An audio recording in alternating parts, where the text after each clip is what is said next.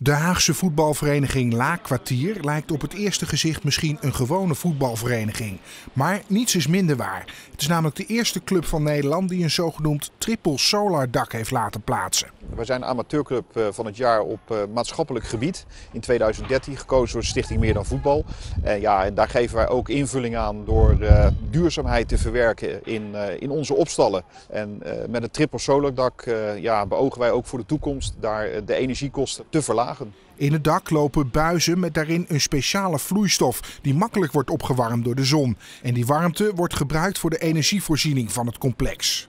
We proberen het maximale rendement uit het dak te halen. Uh, zodat wij uh, zomers eigenlijk niet bij hoeven te verwarmen om warm water te tappen voor te douchen.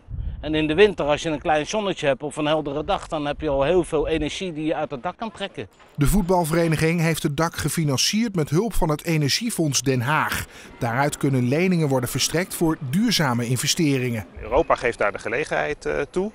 Uh, via het Europees Fonds voor Regionale Ontwikkeling. Voor projecten ook die revolveren. Dus het geld komt terug. En we kunnen dus uh, met de aflossing van de eerste lening ook weer gewoon de volgende uh, projecten gaan realiseren.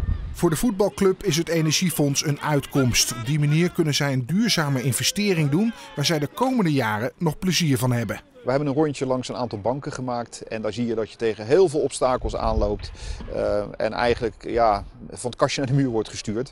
Ik moet zeggen, met het, uh, de medewerkers van het Energiefonds zijn we direct om tafel gegaan. Daar stond eigenlijk niks meer in de weg om, uh, om, om de lening af te sluiten.